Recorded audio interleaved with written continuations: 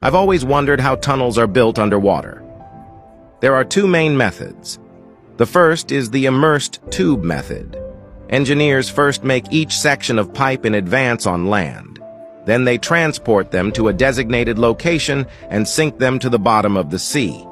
The tunnel is made up of several sections of pipe.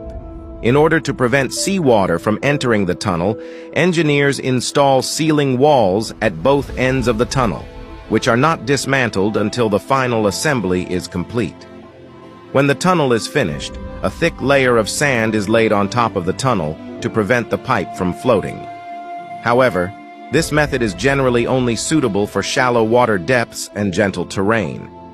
The second is the shield method.